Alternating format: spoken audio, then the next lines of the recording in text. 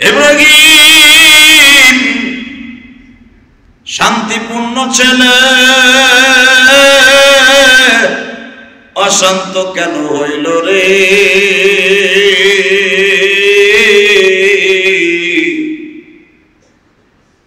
ইব্রাহিম শব্দের অর্থ শান্তি, প্রিয়, দয়ালু, আল্লাহর বান্দা, আল্লাহর গোলাম, আল্লাহর দাস।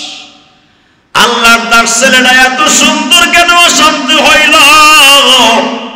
এটা কারও মাথায় ধরে না, শুধু একটাই সবাই বদনাম কয় আমাকে খোদারে ভাঙ্গে লাইছি। নম্রদের কানে চলে গেল, নম্রদ বাহিনী চলে আসলো। ইব্রাহিমের পায়ে হাত, পায়ের মধ্যে বাজানরে বেড়ি লাগাইয়া জেলখানায় আবদ্ধ করল। চার মাস পর্যন্ত জাপ বাজানকে একটু পানিও খাইতে দেয় নাই গো। দুনিয়ার কেউ খাইতে না দিলে ওই মালিক খাইতে দেয় কি দেয় না। ইব্রাহিম ইসলামের আব্বাই কয়, তুই যখন আমার খোদার খাওন খাইরা নিছোস দেহি তোরে কোন খোদায় খাওন দেয়? ইব্রাহিম সালাম বললেন, আব্বা, জিদ করো না। তোমার ওই পাথরের খোদায় খাইতে না দিতে পারে, কিন্তু আমার খোদায় খাইতে দেয়। আরও জোরে গন ওমা মিন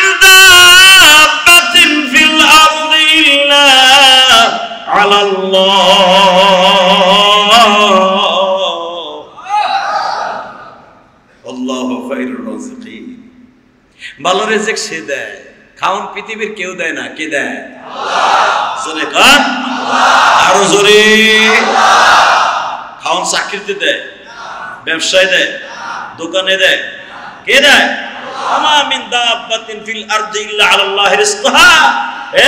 পাগল বান্দা, তুই কিচ্ছু জানোস না। রেজেকের মালিক তুই না, রেজেকের মালিক আমি, স্বয়ং আমি আল্লাহ। কে কে কে কে? আল্লাহ, রেজিকের মালিক সে, কোনো সন্দেহ নেই। ইব্রাহিম আল্লাহর খলিল মনে মনে বলে আমি কোথায় যাব? কিন্তু এই কথাটা কেন বলছি ভালো করে বুঝবেন? বনের পশু পাখি সুন্দর নবীদেরকে চিনতেন, বনের পাহাড়ে চিনতেন, বনের পশু পাখি চিনতেন গাছ গাছলা বিরুক্ষলতা সবাই চিনতেন। আমার বিশ্ব নবী আবি হবাইবের গুহার মধ্যে বসে বসে বসে কাঁদবে আল্লাহ আমি চলে যাব, আমার উম্মাদগুলা রেখে দেখে রাখবেন নবীর কান্না দেখে বাবা, পাহাড়ের মধ্যে যত কীট পতঙ্গ আছে তারাও কাঁদে ওইখান দিয়ে রাখালটা গরু ছাগল ভেড়া বকরি চড়ায় ভেড়া বকরি সুদ্ধা কাঁদে নবীর চোখের পানি তাদের কলেজা ভেদ করে ফেলছে। যখনই দেখলেন কাঁদে আর কাঁদে পশু পাখিগুলো কাঁদে। নবী আমার কাঁদে, পশু পাখি কাঁদে।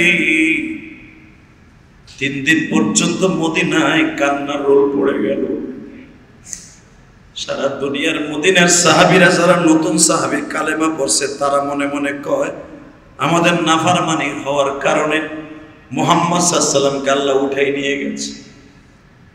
আমার পায়ের দুস্তরা ভালো করে বুঝবা। ভালো করে জানার দরকার আছে।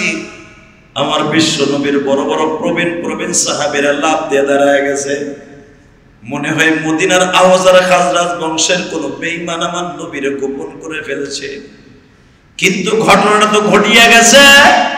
আমার আল্লাহ সারা নবী সারা দুইজন আশেক মাসুকের সারা কেউ জানে না, অমর তরবার নিয়ে প্রত্যেকটা অলিতে গলিতে ঘুরে আর কয়, নবী কয় রাখছো একবার বলে দি না। ওমরের বয়ে মদিনার কোন বেঈমানরা শুদ্ধ রাস্তায় নামে কথা বলতে সাহস পায় না। বাজানরে তিন দিন পরে খবর আসলো, নবী মরে নাই গো। বিশ্ব নবী উম্মাতের জন্য পাহাড়ের গুহায় বসে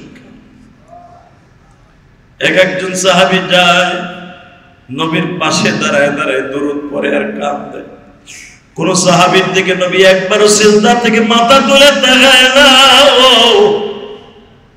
লাশ পিরিচে গিয়ে আপনাদের জানা আছে। হযরত আলী যখন হাসান হোসেনকে সঙ্গে লইয়া, ছোট্ট ছোট্ট হাসান হোসেনকে সঙ্গে লইয়া বিশ্ব নবীর গুহার সামনে দাঁড়ায় বলে, বিশ্বনবীজি, এই যে তিন দিন হয়ে গেল সেই দুইজনকে আপনি ঘোড়ার মতো পিঠের মধ্যে রাখা আপনি কত আদর করতেন, যখন দুইজনে খাবার না তুলে দিয়ে মুখে খাইতেন না। এখানে অনেক মুসল্লি আছে, দাদা যারা আছেন, যারা নানা আছেন, নাতিটারে কোলে করে নিয়ে বাজারে যান, এত গরম তারপর নাতিটারে কোলে করে বাজারে যান। কেন জানেন, এই ভালোবাসা বিশ্ব নবীর থেকে আসছে আলী বারবার বলে, যাদের দুইজনকে আপনি এত ভালোবাসেন, আজকে তিনটা দিন তারাও কিছু খায় না, আমার ঘরে কোনো পাক হয় আপনি যদি আমাদের অন্তরের খবর জানতেন নবী, এইভাবে আমাকে ফেলায় দিয়ে পাহাড়ের গুহায় উম্মাত উম্মাতে বলে কাঁদতেন আমি আপনাদের খেদমতে আরজ করতে চাই। আমার বিশ্ব নবী তারপর উম্মাতে উম্মাতে বলে কাঁদে।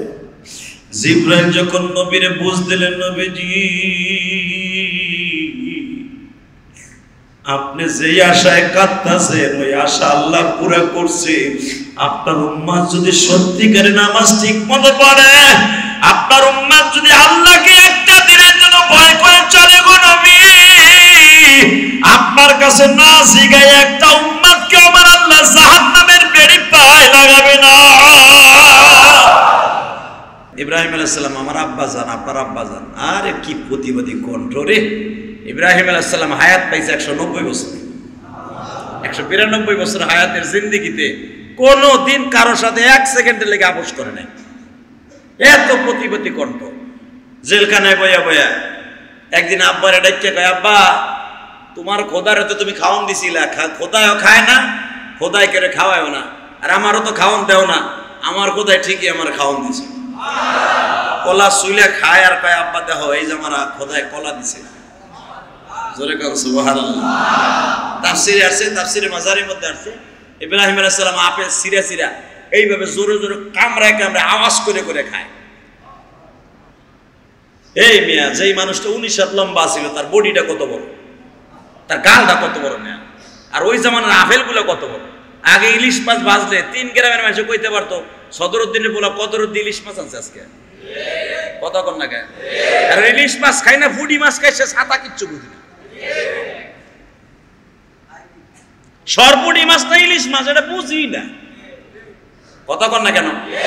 এ, জোরে কম কেয়ামতের আলামত। আগে গোশ পাকাইলে, এক চাষি গোশ পাকাইলে, তিনবারই মানে বলতে গেছে যে সর্দার বাড়ি অমকের বউ গোশ পাকাইতেছে। আরে এখন, এই ফেলাটা গোশ পাকায়। দরজা খুলে দুমা দিল গেরা না। হেনা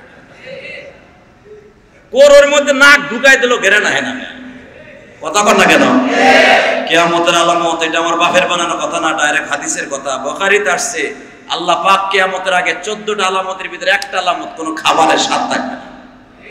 কথা বলেন না কেন? আল্লাহ। হ্যাঁ আপেলগুলো এইভাবে খায়। আজকে তাফসিরে দেখলাম, এমনি এমনি কামড়ায় কামড়ায় খায়। ইব্রাহিম আলাহ সাল্লামের যুগে তো কোনো মানুষের চুল পাকতো না। ইব্রাহিম আলাহ সাল্লামের যুগ, ঈসা নবী পর্যন্ত কোনো মানুষের চুল ঠিক মতো পাকত না। একটা কি দুইটা পাকত? সে যদি এক হাজার বছর হায়াত পেতে চুল পাকত না। ইব্রাহিম আলাহ সাল্লামের মাত্র আল্লাহ পাক ইব্রাহিম আলাহ সাল্লাম যখন দুনিয়াতে বিদায় নেয় একশো বিরানব্বই বছর পর্যন্ত একটা দাড়িও পাকেন চুল পাকেন একটা দাঁতও বললেন আমার নবীর মাত্র উনিশ থেকে আঠারোটা চুল পাচ্ছে। তাও দাড়ি, মোজ দিয়ে। তাহলে আপনি বুঝলাম হয়তো আবু বকরের সাথে উনষাটটা চুল পাকছে উনষাটটা সামাইল তিরমিজিতে দেখবেন। হজরত ওমরের একশো নয়টা চুল পাকছে। কারণ ওমরের চুল পাকার কারণ আছে, ওমর দেশ নিয়ে বেশি ভাবত। অর্ধ জাহানের খলিফা বারো, এগারো বছর পর্যন্ত ক্ষমতায় ছিল জনগণে তার চুল পাকাই দিছে চেন টেনশনে। আল্লাহ আল্লাহ পাকের শুকর। তো, ইব্রাহিম আলাইসাল্লাম বাপের দেখে আপেল খায়। ইব্রাহিম আলাইসাল্লামের বাপ কয়, তুই মরতে পারস না। এ, তুই মরতে পারস না। তোর যন্ত্রণা আমি রাস্তায় বেরোতে পারি না। একজন আমার স্যাপ দেয় দারিদ্রের টান দেয়। এ, তুমি সেই ইব্রাহিমের বাপ, তুমি ইব্রাহিমের বাপ। তোমার ছেলে কত বড় দেশদ্রোহী, খোদার লগে যুদ্ধে নামছে, সরকারের বিরুদ্ধে কথা বলে, তোমার পোলা অমন পোলা জন্ম না দিয়ে গলা চিপ্পা মেরে লাইতে পারত না? ইব্রাহিম আলাইসাল্লাম কয়, দেখ রে ভাই এইটারে আমি জন্ম দিই নাই এটারে আমার বউ জন্ম দিছি। তোমার ঘরে জন্ম নি না কয় না? পাহাড়ের গুহায় জন্ম নিছে। কবে হয়েছে তাও আমি জানি না। এখন জিগায় তুমি যদি এই কথা কও খোদারের খোদারের ধর্মমন্ত্রী হয়ে যদি কও এটা আমি জন্ম দেই নাই আমার বউ জন্ম দিছে তাহলে তোমার বউ বাকিটা তো বুঝে লাগছে না না না না ওইটা আবার আমার। ওইটা আবার আমার কারণ এই কথা যদি বলে নওয়াজুবিল্লাহ আমার জাতির পিতার উপরে একটা জেনার তোহমত আসে। কথা বলেন না কেন? অনেক মা বাবা দেখবেন জিদ্দের সুটে পোলা কয়, পোলারে বলে ফেলায় আমার মনে কয় না, তোরে আমি জন্ম দিছি। বলে না? পোলা এমন খারাপ নিশাকর হয়ে গেছে, বাপ জিদ্দের সুটে বলে, তুই আমার পোলা হইতে পারস না। তুই আমার পোলা হইয়া আমি জীবনে কোনোদিন মুরব্বীদের সামনে সিগারেট খাইলাম না আমি যেখানে নিশা কি জিনিস চিনলাম না, মদের বোতল কারে কয় চিনলাম না, একটা সিগারেট হাতে দিলাম না, মনে কয় না যে আমি, তুই আমার জন্মেরটা। কথা বলেন না কেন? কিন্তু কথাটা যে আপনি কি কথা আপনি ঠিক পান? খবরদার জীবনে কথা আপনি বলবেন না। এটা বলা হারাম। এটা কাফের মুশরিক বলবে, মুসলমান বলবে না এই কথা। আপনি বলে এলেন, জিদ দেশটা আপনার ওয়াইফ বলে, আপনার বিবি বলে, আপনি বলে ফেলেন, আমার মন কয় না যে তুই আমার ঘরে জন্ম নিছ। তুই আমার জন্মের তলে এরকম আমার মতো হইতে পারস না না। এই কথা বললে মাসলায় কোথায় যায় আপনি জানেন? আপনার পরে শরিয়াতি আইন, আপনার পরে ডোরা মারা ফরজ হয়ে যাবে বইলে তো ফেলে না বেগে হ্যাঁ বন্ধু দোষে, সঙ্গ দোষে আপনার ছেলে খারাপ হয়ে গেছে। এই জন্য তাকে এই তোহমাত লাগানো যাবে না। এটাকে ইসলামের তোহমাত বলে, ফতোয়া দেখবেন, তোহমাত বলে। আপনি বাবা হইয়া বলে ফেললেন, মনে হয় না এটা আমার সন্তান। তুই আমার সন্তান হয়ে এই কাম করতে পারছ না। যদি এই কথা আপনি বলেন ইব্রাহিম আলাইসাল্লাম সারা দুনিয়ার জাতির পিতা, তার বাবাই কইতাছে যে, তুই মনে ও আমি জন্ম দিন ওর বাপ মায় জন্ম দিছে। জন জনগণে ধরছে যে তুমি কথা কেমনে কো তাহলে তোমার বউ আর একজনের সাথে না না না না, এটা আবার ঠিক আছে। এই মাস্টার থেকে বের হয়, খবরদার, কোনোদিন কোনো বাবা তার সন্তান নেই কথা বলা যায় নাই। খবর রাখবেন, এই মাথার মাস্টার ঠিক রাখবেন। হ্যাঁ বন্ধু দোষে, বন্ধু মহলে পড়ে আসি নেশাকর হয়ে গেছে, খারাপ হয়ে গেছে। এটা আপনার কপাল খারাপ কেসমত খারাপ, আপনার ছেলের জিন্দিগি খারাপ। তার জন্য দোয়া করেন, আল্লাহ তাকে হেদায়ত নসিব করবে। সরবে না আমেন। আমার আব্বা জান, আপনার আব্বা জান এত কড়া মেজাজের মানুষ, চার মাস জেলখানায় জেলখানায় ঠাইকা ইব্রাহিম আলাইসাল্লাম জেলখানার মধ্যে আল্লাহর জান্নাতি খাবার খায়। জান্নাতে পোশাক পরে। এক গিলাস পানিও দেয় না। খাওয়ানোর টাইম হলে জিব্রাইল খাবার দিয়ে যায়। ইব্রাহিম জানেও না যে খাবার কে দেয়। একজন জেলখানার পাহলোয়ান মনে, একজন জেলখানার কয়, কয়েদি রক্ষে কারা রক্ষে সাইজা জিব্রাইল নিজে খাবার দিয়ে যায় আল্লাহ আকবর আল্লাহ আকবর। তাহলে খাওয়ান কে দেয়? ইব্রাহিম আলাইসালাম জেলখানাতে বের হওয়ার পরে শর্ত হলো তুমি কি সরকারের সাথে আদাত করে চলবা? সরকার যা বলবে, তুমি ধর্মমন্ত্রীর দায়িত্ব পাবে এই বাইশ বছর বয়সে। ইব্রাহিম আলাইসাল্লাম বললেন, আমি পৃথিবীর কোন সরকারের অর্ডার মানি না, আমি বিশ্ব সরকারের অর্ডার মানি। আল্লাহ লা ইলাহা ইল্লাহুল হাইয়ুল কাইয়ুম। যিনি সর্বময় ক্ষমতার মালিক সর্বশক্তির মালিক। ওনার কথায় চলবো, আমি কোনো নমরুদ, কোনো মাখলুকের কথা চলবো না। আমি খালেকের কথা চলবো। নমরুদের ফরমান জারি হয়ে গেল, তুই খালেকের কথায় চলবি। দেখ আমি খালেক কি করি। আপনারা জানেন, ইব্রাহিম আলাইসাল্লামের যে জায়গায় মাইরে ফেলানোর চিন্তা ভাবনা হলো, ফাঁসির মঞ্চে ঝুলাবে, সিদ্ধান্ত হলো না, ফাঁসিতে ঝুলাবে না। পাহাড়ের থেকে ফেলবে, বলল না, পাহাড়ের থেকে ফেলা যাবে না। কি করা যাবে? একবারে ওর ধ্বংস হয়ে যাবে। ওর স্থানে যেন কেয়ামত পর্যন্ত যদি নমরুদ হায়াত পায়, নমরুদে তো চিন্তা ছিল, আমার বংশের মানুষ কেয়ামত পর্যন্ত ক্ষমতায় থাকবে। কর না চিন্তা ভাবনা ছিল, সুরের মধ্যে আসছে যে ওর চিন্তা ভাবনা ছিল, আমার এই বংশ কেয়ামত পর্যন্ত সারা পৃথিবী শাসন করবে।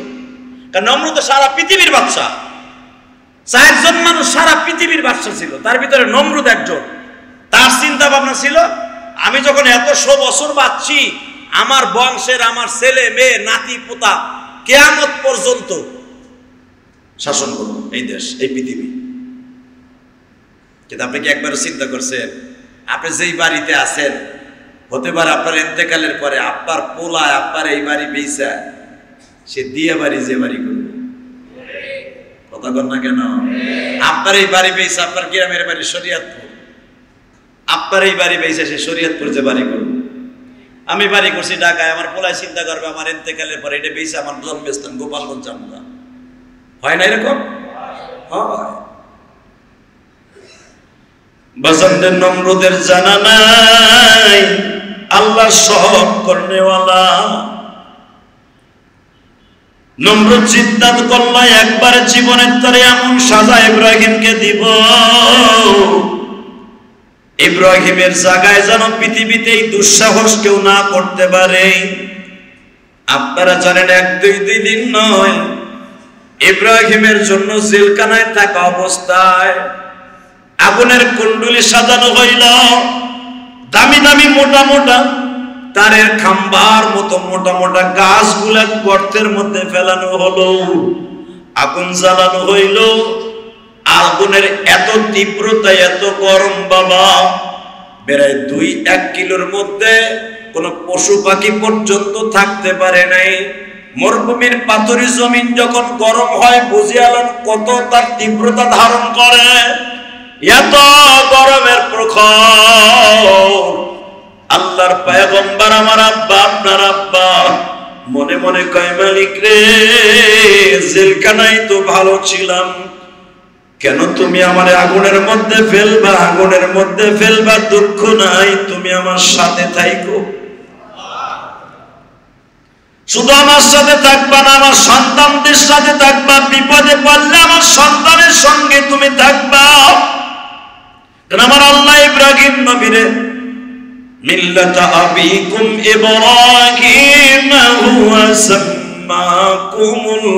মুসলিমিন। ইব্রাহিম তো জানে আমি জাতির পিতা, উনি জানে। আপনারা জানেন আগুনে ফেলা হলো।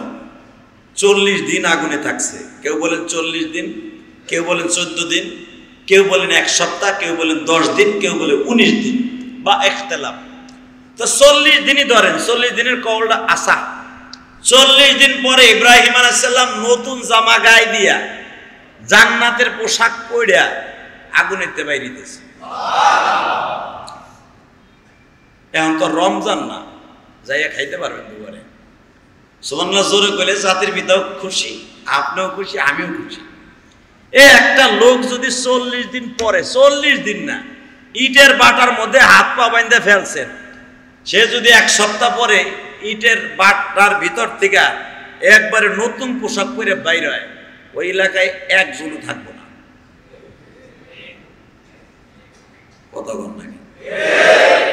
বল সব মানুষ ভয়ে ভাগ্যে যাইবে।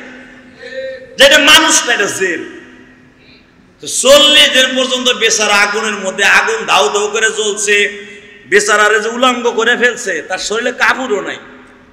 খালি পারনের একটা পায়জামা ছিল হ্যাঁ নিজের জুব্বা খুলে হাত পাও বাঁধছে। শরীরে কিচ্ছু নাই আমার আব্বা জানের শরীরে। সে যদি চল্লিশ দিন পরে জান্নাতের পোশাক পইরা পাগড়ি মাগড়ি মাথায় দিয়া জ্বলন্ত আগুনের ভিতরতে বের এ যত বড় পালন হোক না মেন আমি আপনার বুঝাই দেই, আপনি যদি একজন রে বিলের মধ্যে খুশে থিয়া এই যে বুদ্ধিজীবী কবরস্থানে কেউ কবর দিয়ে থিয়া পড়েন, হে যদি এক সপ্তাহ পরে গেটে দাঁড়ায় কয় গেটে দাঁড়ান, আমার পোলাপন খবর দে তো, আমি এবার উঠে পড়ছি ওই দারোয়ানও বাঁচবো না, আর পোলা মাইয়া তো দ- ঘরে তালা তুলা মাইরে গেরামে যাব কথা না কইবে আমার আব্বা না, এটা এটা হলো জেনের কোন দূরে সুরাত ধারণ করে আছে চল্লিশ দিন পরে বেচারা চেহারা আরও সুন্দর করিয়া দামি পোশাক পরিয়া তসবি একটা হাত লইয়া, লাডি একটা লইয়া, ধাম ধাম করে বাইরে হইতেছে। আরও জোরে আরও জোরে। আগুনের ভিতর খেলা খেলছে কে?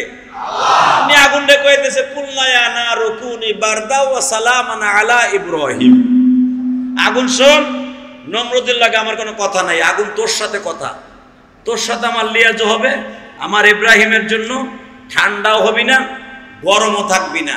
ও সালামান আলা ইব্রাহিম, এমন শান্তিদায়ক হয়ে যাবি যেন ইব্রাহিম আলাইসাল্লামের থাকতে কোনো বসবাস করতে কোনো কষ্ট না হয়। কথাটা কে বলছে? কারে কইছে? জমিন রো কয় নাই, আগুন রো কইছে কুলনায়া না রুকুনি নার মানে আগুন, জমিন রো কয় নাই, কাউরে কয় আগুন রে ডাক দিয়ে কইছে, এ উন ও সালামান আলা ইব্রাহিম, কোনো ঠান্ডা আর গরম নাই। আমার ইব্রাহিমের জন্য এমন শান্তিদায়ক একটা স্থান হয়ে যাবে, জান্নাতের টুকরা হবে। ইব্রাহিম থাকবে, খাবে, বইবে এই কয়দিনের জন্য? এটা রেস্ট হাউস ইব্রাহিমের জন্য কোনো কষ্ট নয়। এখন তাই হয়ে গেছে। একটু পরে জিব্রাইল ভালো পাঞ্জাবি পরাইছে ভালো করে সুন্দর করে গেট আপটা চেঞ্জ করে দিয়েছে। গেট আপ চেঞ্জ করে দিয়ে চল্লিশ দিন পরে ইব্রাহিম আলাইসালাম আল্লাহ বলতেছে হ্যাঁ বেরোন এখন। ইব্রাহিম আলাইসালাম যখন বের হচ্ছে, ওই এলাকায় মানুষ খালি অন্য দিক দৌড়াইতেছে। বয় দেখলাম আগুন জ্বলতেছে দাও দাও করে, এই লোক পড়ে নাই। ফেলাইলাম ল্যাংটা কইরা। হের গায়ে যে দামি জামা, জামার ঘেরা নেই তো এলাকার মানুষ পাগল হয়ে যেতেছে জোরে জোরে জোরে জোরে জোরে। ইহি ওয়া আলা আল্লাহ সর্বময় ক্ষমতার মালিক। আমি দেই হেরা চাইছে মারতে, বাঁচায় রাখছেন কে? সবাই যখন ডরে পালায় যাইতেছে নমরুদ আর পালায় যেতে পারে না, যদি পালায় যায় আর খোদাইগিরি থাকব। হ্যাঁ? নমরুদের একটা মাইয়া ছিল, যেই মেয়েটা মনে রাখবেন, আমার বিশ্ব নবীর সাথে কে আমাদের মাঠে বিবাহ হবে। আমার নবীর সাথে চারটে মেয়ের বিয়ে হবে। চারটে মেয়ে। তার ভিতরে নমরুদের এই মেয়েটা বিয়ে হবে আমার নবীর সাথে। মা মারিয়াম মা আসিয়া তিন নাম্বার হলো নমরুদের এই মেয়েটা তো নমরুদের এই মেয়েটা আগুনের মধ্যে দোতলার উপরে বইয়া ছাদের উপরে বইয়া দেখতেছে ইব্রাহিম আলাইহি সালাম আগুনের মধ্যে বইয়া প্লেটের মধ্যে কইরা জান্নাতের আঙ্গুর খাইতেছে আঙ্গুর খাইতেছে আপেল খাইতেছে কলা খাইতেছে জান্নাতের খাবার যা যা আছে খাওয়াইতেছে আল্লাহ তো ওইটা দেখেই নমরুদের মেয়ে ওইখান থেকেই কালেমা করছে জোরে কর। আরও জোরে। নমরুদের মেয়ে আব্বারে যে বলতেছে, যে মেয়েটার কথা কোরআনে আসছে, আব্বারে কানে কানে কয়, আব্বা গো, তুমি তো দুনিয়ার আগুন জ্বালায় ফেললা, কিন্তু আগুনের মালিক যিনি ওনারে ওইটার ভিতরে বসে জান্নাতের বাগান বানায় দিয়েছে ওসালাম আলা ইব্রাহিম। ইব্রাহিমের জন্য শান্তির একটা স্থান হয়ে গেছে, আব্বা। তুমি জানো এই কথা বলতে দেরি আছে, নমরুদের মেয়েকে নমরুদ মারতে মারতে মারতে মারতে তালাবদ্ধ করে রেখে দিচ্ছে তুই দেখছর দেখছর বললি কেন? ইব্রাহিম যে ওই আগুনের মধ্যে বয়ে খাইতে আছে, এটা তো আমিও দেখছি। নমরুদের মেয়ে বলতেছে, আব্বা জান চোখের মধ্যে দেখতাছো, তারপরে ইব্রাহিম রে মারো। কিন্তু মনে রাখো গো বাবা, যার জন্য তুমি মারতাছো, জেল কাটাই লাগো বাবা। যেই মালিক ইব্রাহিম রে আগুনের মধ্যে খাওয়াইতে পারে, ওই মালিক কিন্তু তোমার পোল্ট্রি দিয়ে দুনিয়ার থেকে ধুলিসাত করে দিতে পারে। এই কথাটা বলতে দেরি আছে, নমরুদ এত মায়ের মেয়েটারে মারছে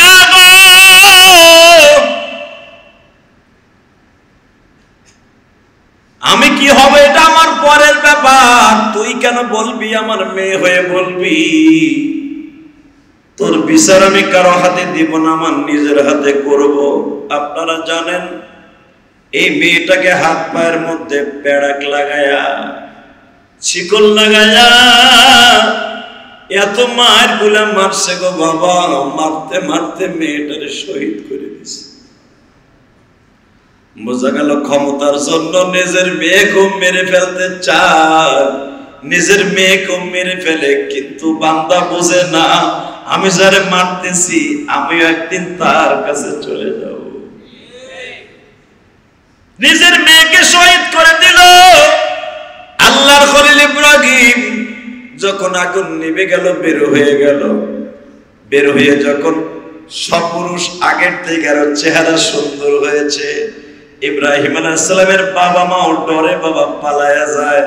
আল্লাহর খলিল ইব্রাহিম বলে, ও বাবা, তোমার যেই খোদা তোমারে খাওয়ান দিতে পারে না, জীবন দিতে পারে না, আমার মালিক আমার আগুনের মধ্যে খাওয়ান দিছে, জেলখানায় খাওয়ান দিছে ওই মালিক আমারে জান্নাতের পোশাক দিছি, ওই মালিক আমারে বাঁচায় রাখবে। কিন্তু মনে রাখো তোমরা যার সেবা করতেছো, তোমরা যার পূজা করতেছো, এই বেঈমান একদিন ধুলিসাৎ হয়ে যাবে। নম্র চিন্তা করে দেখল, ওর লগে বাজাবাজি করে লাভ নাই। ও যা চায় তাই করে দেয়। কি চায়? এই তুই কি চাস? এই দেশে থাকবি না যাবি। আপনারা জানেন, ইরাকের মসুল শহর, বাবিলন শহর, গ্রামে জন্ম নিয়েছে নমরুদ। ইরাকের সেই অবহেলিত গ্রাম, বাবিল শহর সে মসুল শহর, যেই শহরে নমরুদ জন্ম নিয়েছে, ওই শহরে ইব্রাহিম আল্লাহর খলিল জন্ম নিলেন। এই শহর থেকে বাবা, প্রায় আশি কিলোমিটার দূরে একজন গভর্নর ছিল।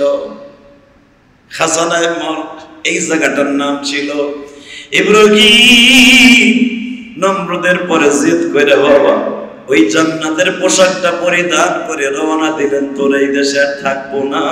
আমার মালিক যদি আমার রক্ষা করে, আমি এই দেশে আর দাওয়াত তাবলীগের কাজ করব না। আমি করব, এখান থেকে মাদায়েন চলে যাব। মাদায়েন থেকে আমি মিশরে চলে যাব। মিশরের থেকে মক্কা নগরীতে ঢুকবো মক্কায় যাওয়ার আগে আমি জেরুজালেমে ঢুকবো আমি ফিলিস্তিনে ঢুকবো ফিলিস্তিনের থেকে ঘুরে ঘুরে সারা পৃথিবী সফর করি। আমি আমার মাওলার দিনের দাওয়াত দিব। তবে পৃথিবীর বাতিলের সাথে কোনোদিন আপোষ করব না।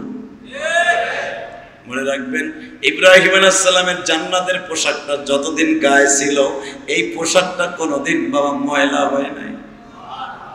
আরও জোরে আরও জোরে। ভালো করে বুঝবেন, আল্লাহ আলামিন এমন কিছু জিনিস দিয়ে বানিয়েছে। পয়গম্বরদের শরীরের মধ্যে আল্লাহ পাক কোনোদিন দুর্গন্ধ দিতেন না। দুই নম্বরে পয়গম্বরদের শরীরের মধ্যে, আমার আল্লাহ, কখনো বাবা এমন কাজ ফুটায় তুলতেন না যেন মানুষ তারে খারাপ বলে। পয়গম্বরের রাস্তা দিয়ে হাঁটলে রাস্তায় বলে দিত উনি পয়গম্বর, বনের পশু পাখি পর্যন্ত বলতেন উনি পয়গম্বর, তার জ্বলন্ত প্রমাণ মদিনার থেকে সাড়ে সাত কিলোমিটার দূরে একটা পাহাড় আছে। ওই পাহাড়টা আমি গুনাগারকে এই বছরে আমার আল্লাহ দেখিয়েছে। ওই পাহাড়ের গুহায় আমার নবী মদিনায় আমার নবী হবায়েব জিনাকে বলা হয়, এই পাহাড়ের গুহার মধ্যে নবী মাঝে মাঝে কপাল টাকায় উম্মাতের জন্য কাঁদতেন নবী আমার জন্য কপাল টাকায় কাঁদতেন আর বলতেন, মালিক রে, আমার বাবা ইব্রাহিম একশো বিরানব্বই বছর বাঁচছে। জাতির পিতা ইব্রাহিম জীবিত অবস্থায় তার কোন হয়ে গেছে। আল্লাহু জোরে বলেন। মুসা পয়গম্বর, জীবদ্দশায় তার বড় ভাইরে নবী হিসাবে পাইছে, তার বাইকনারে নবী হিসাবে পাইছে, তার শ্বশুরকে নবী হিসাবে পাইছে। কিন্তু আমি নবী চলিয়া যাব, কোন নবী আমি তাইখা যাইতে পারব না। তবে নবী আলা কাজ কারে দিয়ে করাবো, তুমি একবার আমারে বলে দাও না। আমার আল্লাহ বললেন, নবীজি, ইন্নামা ইয়াখশাল্লাহ মিন ইবাদিহিল উলামা সেই আলেমরা আমি আল্লাহকে বেশি ভয় পাবে নবী দায়িত্ব আমি তাদের হাতে তুলে দিব। নবী আমার সঙ্গে সঙ্গে বললেন আল উলামা ওয়ারাসাতুল আম্বিয়া। আমি নবী চলে যাওয়ার পরে নবীদের দায়িত্ব, আলেমদের পরে আমি দিয়ে গেলাম।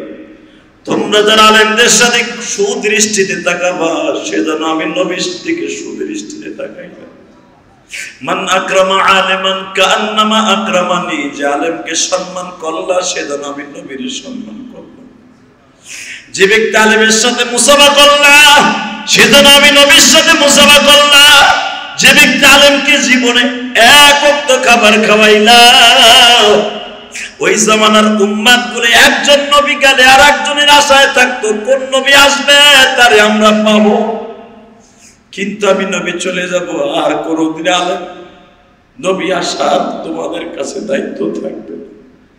এক একজন আলেম এক এক জামানায় আসবে, তাদেরকে তোমরা মন প্রাণ দিয়ে ভালোবাসো, সেজন্য আমি নবীরে ভালোবাসলাম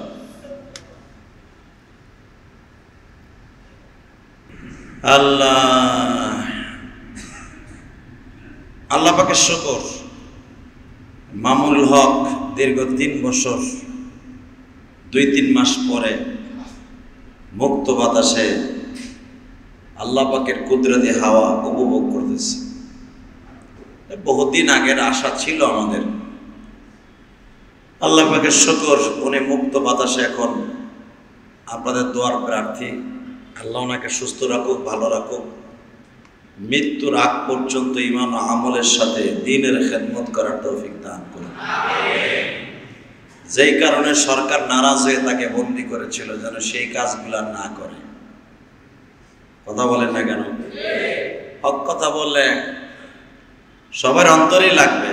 হক কথা যদি আপনি মার বিরুদ্ধেও বলেন, বাপার বিরুদ্ধেও বলেন, বাপেরও লাগবে। মার বিরুদ্ধে বলবেন, তাও লাগবে। যেরকম ভাবে আমাদের জাতির পিতা হক কথা বলতে যায়, বেচারা চার মাস জেল কাটছে ইব্রাহিম আলাইসাল্লাম কোরআনের ভাষায় বলেন, সুরা ইব্রাহিমের তাফসিরে আসছে, উনি যখন চার মাস জেল কাটে। আল্লাহ ইব্রাহিম আলাইসাল্লাম চার মাস জেলখানায় থাকা অবস্থা, উনি বলতেছিল, আমার কাছে মনে হইতে চার যুগ আমাদের আব্বাজান যদি তাদের কাছে চার যুগ মনে হয়, চার মাসে তার সন্তানদের তো চার দিনে মনে হবে চার যুগ। আর আমাকে বাংলাদেশের জেলখানা যাই নাই, জানি না। যাওয়ার আশা আছে, খালি মশলাটা হল করার জন্য। কবে যাব তা জানি না। কপালে থাকলে যাইতে পারে। তবে শুনছি, বাংলাদেশের জেলখানাগুলা এত কঠিন জায়গা, যেখানে চার ঘণ্টা থাকাও কষ্টকর। আল্লাপাকে শকর।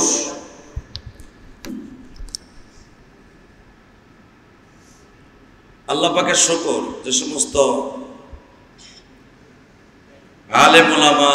পয়গম্বার, ওলিরা জেল খাটে। আপনি পাইবেন না, অপরাধ করেই তারা জেল খাটে।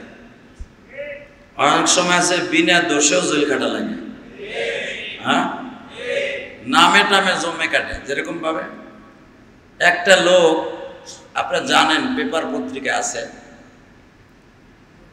বিনা অপরাধে যাবজ্জীবন জেল কেটে বেরিয়েছে। লাস্টে বেকুশের খালাস হয়েছে কেন? যেই নাম তার ছিল, তার নাম আর তার বাপের নাম মিলে যাওয়ার কারণে বেটায় চোদ্দটা বছর একবারে খালি খালি জেল লাস্টে তদন্ত পাওয়া গেছে যে লোকটা হে না, যে ছিল হে দেশেই নাই, সৈন্য দেশে পালাই চলে গেছে। আমাদের বাংলাদেশের বিচার ব্যবস্থা এমন হয়ে গেছে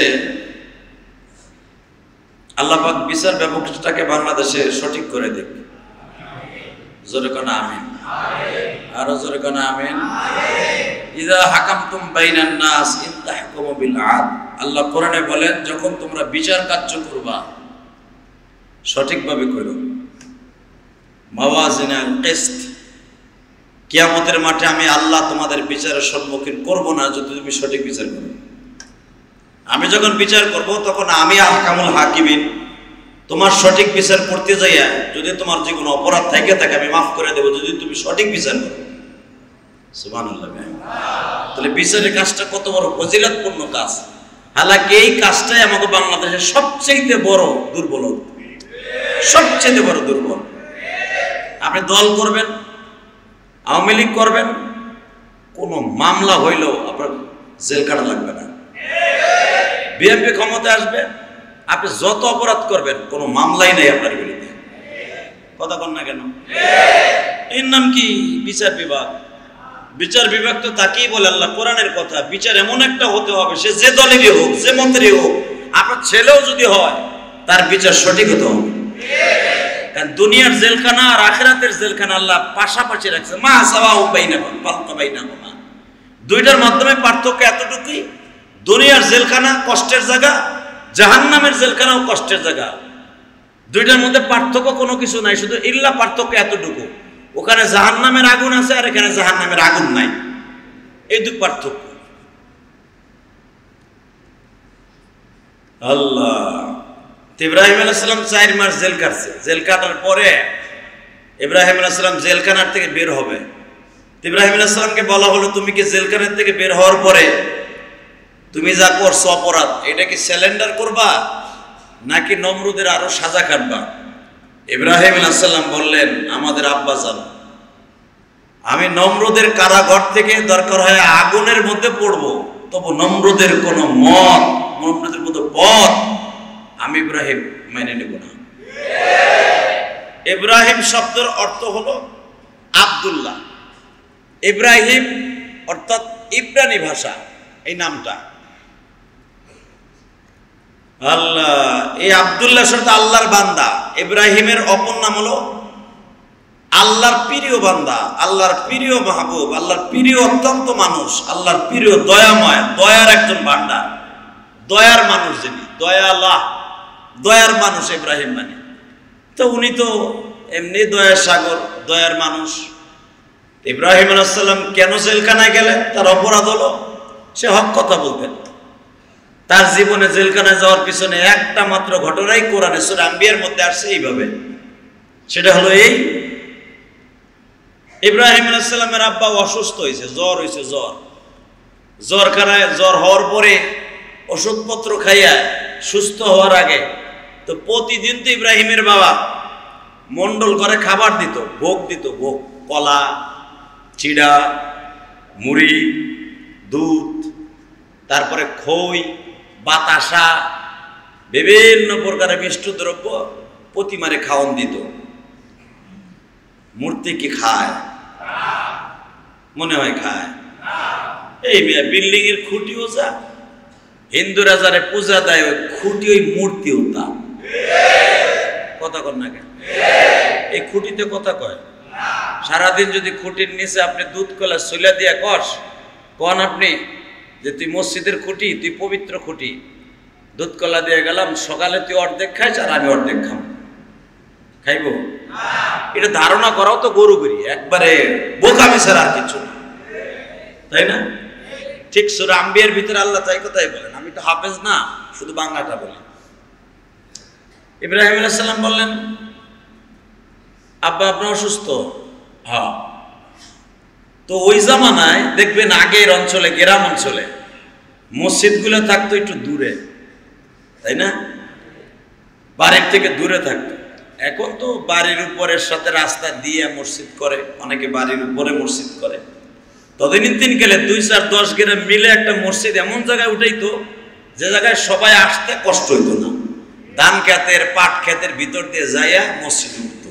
আছে না এরকম?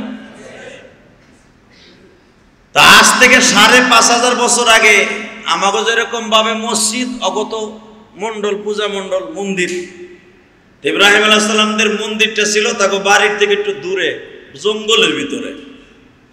ইব্রাহিম আলাইসাল্লামের আব্বা কইছে, আমি তো অসুস্থ।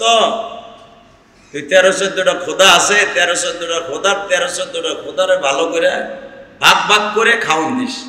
কেউটা কেউরে দিস না। বড় যেটা হেডের দুধ কলা দিস মাইজে যেটা আছে ওরে খই দিস। আর তিন নাম্বার যেটা আছে, ওর কাছে তো চাওয়া রেজেক, ওরে মিষ্টি দিস, বাতাসা দিস চিরা মুড়ি ভিজাই দিস। তো তেরো খোদারে তেরো রকমের খাওয়ান দিছে। খাওয়ান টাউন দিয়া বলছে, এটা লইয়া যা খোদা কো দিয়ে গা। এটাই কোরআনের ভাষা, এটাই আসছে। ভাবেন না, আমরা বানায় কইতেছি। কোরআনে আছে এই শব্দ। তো যখন ইব্রাহিম আলাইসাল্লাম খাওয়ান দাওয়ান লয়ে গেছে যে ইব্রাহিম আলাইসাল্লাম বলতেছে, আমি শুনছি, আমার আব্বাস দিলে তুই খাস না। আজকে তার পোলা আইছে, আমার মেজাজ কিন্তু গরম। ভাই, তোকে হাতে পাও ধরে বলছি, তোরা অর্ধেক খা আর আমি অর্ধেক পরে খাব। যদি না খাস, তাহলে আমি তোকে খাব। এটা মনে রাখিস। তুমি তো হক কথা বলনেওয়ালা, মেজাজ গরম, খুবই গরম। ইব্রাহিম আলাইসাল্লামকে আল্লাহ দুইটা কোয়ালিটি দিয়ে বানাইছিলেন আব্বাজানকে। সেটা হলো এই, যেই দুইটা কোয়ালিটি যার মধ্যে থাকবে, তার ভিতরে ইব্রাহিম আলাইসাল্লামের সুলতান থাকবে। নরমের জায়গায় নরম, গরমের জায়গায় জোরে কর জোরে। আরও জোরে। কিছু লোক আছে সব জায়গায় নরম। ও নেদায়ও না সে সেদায়ও না বোর কাছেও নরম, রাস্তায় বেরোলেও নরম সব জায়গায় নরম। এটার আবার সঠিক পুরুষ কয় না? এটার আবার কয় অর্ধেক অর্ধেক ফিফটি ফিফটি পুরুষ। যেরকম আমাকে গোপালগঞ্জ, ফরিদপুরে ভাষা কয় মাইজ্ঞা পুরুষ। বোঝেন নাই? মাইয়া পুরুষ। মাইয়া পুরুষ মানে কি? অর্ধেক মাইয়া, অর্ধেক পুরুষ। তা আমার আব্বাজান ইব্রাহিম, আপনার আব্বাজান ইব্রাহিম ছিল নরমের জায়গায় নরম, গরমের জায়গায় গরম। তো উনি ইব্রাহিম আলাইসাল্লামের আব্বা কইতেছে, তুই যাইতেছ খাওন লয়া জাকার মধ্যে বিভিন্ন ভোগ বলদ লিয়া প্লেটে করে যাইতেছ ভাগ ভাগ করে বাটিতে করে তো কুড়াল লয়ে যাস কা? কুড়াল লয়ে যাই। কুড়ালের কাম কি? কাঠ কাটা। আর কুড়ালের পিছনে দেখবেন যেটা দিয়া ধরে কাঠ কাটেন ওটার ভিতরে কিন্তু একটা কাঠ। কথা যেটা ধরে কোপ দেন ভিতরে কাঠ না? কি কয় কয় নাকি, না কি কয়? হ্যাঁ? কোরআনের ভাষায় আসছে, তাফসিরে আসছে যে ওই ভিতরে তো কাঠ। ইব্রাহিম আলাইসাল্লাম বলে, আব্বা, কাঠ দিয়ে যদি কাঠ কাটে, তো এটা আবার কেমনে? এই দেখো, কাঠ দিয়ে ধরে মারি লোহা দিয়ে, ঠিক আছে? কিন্তু লোহার ভিতরে কিন্তু একটা কাঠ আছে। তো কাঠ দিয়ে কাঠ কাটতাছি। কই তুই যা কাটোস আর তাই কাটোস, খোদার লগে আবার বেদবি করিস আমি অসুস্থ আছি, তুই যাই খাওয়ান দাওয়ান দিয়ে কইস, আমি জানি সুস্থ হয়ে যাই। কালকের থেকে আমি খাওয়ান দাওয়ান ঠিক মতো দিতে পারি জাতির পিতা ইব্রাহিম নরমের জায়গায় নরম, গরমের জায়গায় গরম, এটা মনে রাখবেন। এই মাসলা শাসন মনে রাখবেন, তার সন্তানরা সঠিক পুরুষ সে, যে নরমের জায়গায় নরম, গরমের জায়গায় গরম। কেউ আছে খালি গরম খালি গরম। এটা আমার আল্লাহ পছন্দ করে না। গরমের জায়গায় গরম, নরমের জায়গায় নরম, এটা নবীদের সুন্নাত। আলহামদুলিল্লাহ বলেন। তা আমার আব্বা জান গেছেন যাই এত খোদারে খাইতে দিয়েছেন খোদারে বলছে, দেখ, আমি আমার আব্বা জানের কাছে নরম, মার কাছে নরম। এখন আইসি তোকে সামনে, তোরা অর্ধেক খাবি, আমি অর্ধেক খাব। যদি না খাস, আমি তোকে খাব।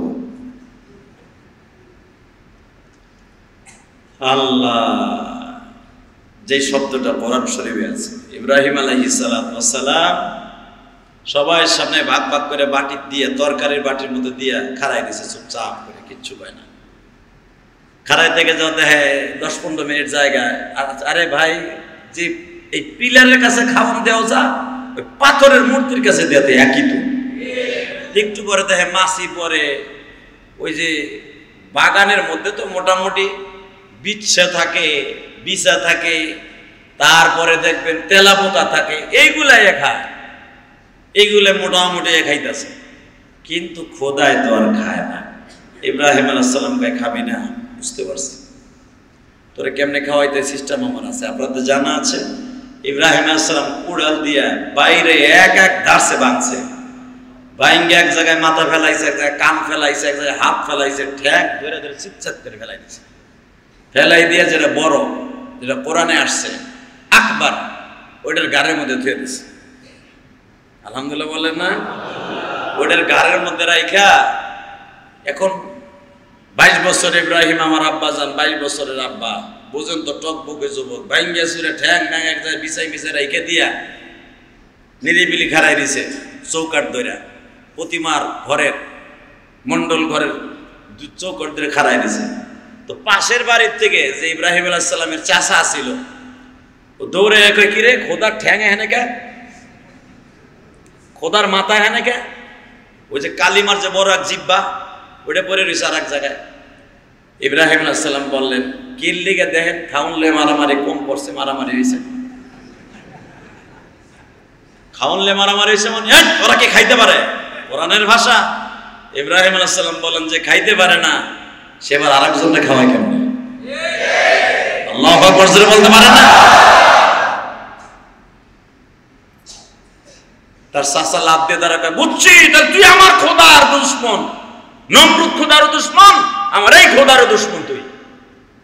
ইব্রাহিম বললেন চাচা যেই কাঠ দিয়ে কাঠ কাটে যেই কাঠ দিয়ে খোদার কপাল ফাটাইছি ওই কাঠ দিয়ে কিন্তু তোমার কপাল ফাটাবো। কথা আসতে বললাম মাথা আজকে গরম আছে কিনলেগেও খাইলো না। এত কষ্ট করে আমি খাওয়ান লইছি, ও খাইবো না মানে? ও আবার না আমার খাওয়ানের দাতা কেমনে হয়? রেজেক দাতা কেমনে হয়? ও আমার হায়াতের মালিক কেমনে হয়? ও আমার রেজেক দাতা কেমনে হয়? সুস্থ রাখার মালিক কেমনে হয়? আমার আব্বা আমার খাওয়ান দিয়া কয়, খোদারে বুঝায় কয়, আমি যেন কালকে সুস্থ হয়ে যাই। যে নিজেরটা নিজে খাইতে পারে আমার বা আব্বার সুস্থ করবে কেমনে? দেখবেন যে কোনো আশ্চর্য ধরনের জিনিস সেকেন্ডের ভিতরে বাইরে হয়ে যায়। কন না আমি দেখাই দিই, কেমনে বাইরে দেখেন আশ্চর্য। এখানে যদি আমি স্টেজে দাঁড়ায়, এইখানে দাঁড়ায় যে এমন একটা কাজ করলাম, কেউ যদি আমার এখানে একজন আছেন আল্লাহর বলি সে আমার ভালোবাসেন না, সে লাভ দিয়ে দাঁড়ায় যদি আমার একটা ঘুষি দেন। এই যে ক্যামেরার সামনে, দেখবেন নামাজটা পড়ার আগে বাইরে লয়ে যাবে। কথা না কেন? নামাজ শেষ করে বাড়িতে যাওয়ার আগে এটা ভাইরাল কে? বাইতে সুযোগ মসজিদের ইমাম সাহেবের একজনের ঘুষাইছে কিল্লা ঘুষাইছে ওরা পরে। ওরা শুনে নাই। এক একজন এক এক মন্তব্য লিখবে, এক এক মিডিয়া এক এক রকম লিখবে। এক একজন এক একটা লিখবে। হঠাৎ করে ভাইরাল হইল কি? ইব্রাহিম আজরের পোলা, ইব্রাহিম আমাকে খোদারে ভাড়ায় হেলাইছে। একটা দিন যদি নামাজ পড়ে থাকে, একটা দিন আল্লাহরে ভয় করে থাকে, জান, এই ফেসিলিটি পৃথিবীর কোন নবীর দেয় নাই। নবী আমার কাছে একটা দিন যদি আল্লাহরে ভয় করে চলে, সকালবেলা আল্লাহরে ভালোবাসলো, বৈকালবেলা বন্ধুর মহলে পড়িয়ে নষ্ট হয়ে গেল। আমার আল্লাহ বললেন, নবী গো, বিকালবেলা যদি আবার বুঝ আসে, আমারে ভয় পায়, আমি তারে মাফ করে দিব। ও জিব্রাইল, রাত্রি ঘুমাইতে দিয়ে বল লাগে মারামারি করিয়া জ্ঞান করি আবার বেঈমান হয়ে গেলে পরে কি করব? নবী আমার বলে দিলেন, আল্লাহর জিগো, আমার আল্লাহ বলে দিলেন, নবী গো আপনার উম্মার যদি মৃত্যুর এক সেকেন্ড আগেও যদি কখনো হুশ ফিরে আসে, আমি আল্লাহরে ভয় পাই। ইত্তাকুল্লাহ, আমি আল্লাহ তার মাফ করে দেব। নবী আমার মাথা তুলে বাসায় আসলেন।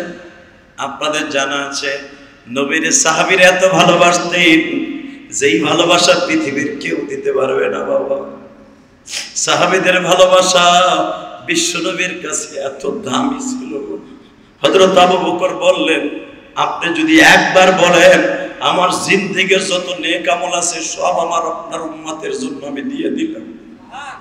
ওমর বলে, আমার জিন্দেগীর সব আমলগুলো আপনার উম্মতরে দিলাম যদি আপনি জাহান্নামে গেলে, আপনি নবী খুশি আর উম্মতের নাজাতের জন্য আমি দিয়ে দিলাম। আমার নবী বলে, ওমর রে, আবু বকর রে, যেই ব্যক্তি তার নিজের আমলগুলো উম্মতের জন্য দিয়ে দেয় ওই মানুষটা কোনোদিন জাহান্নামে যাবে না, আমার উম্মত কোনোদিন জাহান্নামে যাবে না। যদি এক মিনিট দেয় নবী যে পাহাড়ের গুহায় আছে, এটা জানলো? সমস্ত ইমামের একই মত। নবীর কান্না দেখে বনের পশু, পাখি, ভেড়া, বকরি সুন্দর কাঁদছে।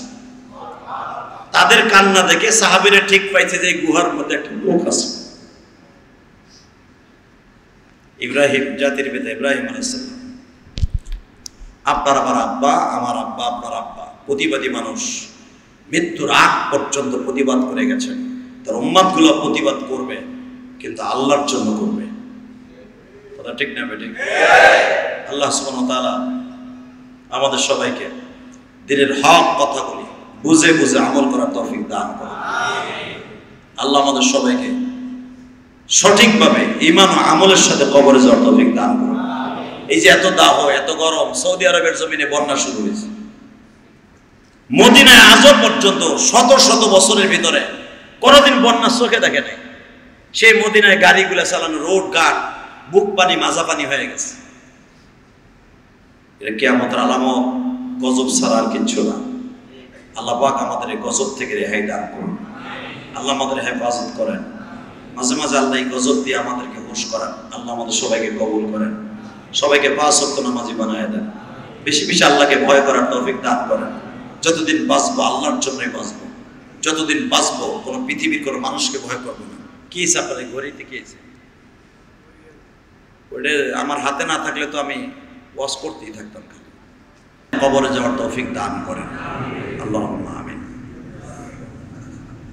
ربنا ظلمنا انفسنا وان لم تغفر لنا وترحمنا لنكونن من الخاسرين ربنا فاغفر لنا ذنوبنا وكفر عنا سيئاتنا وتوفنا مع الأبرار.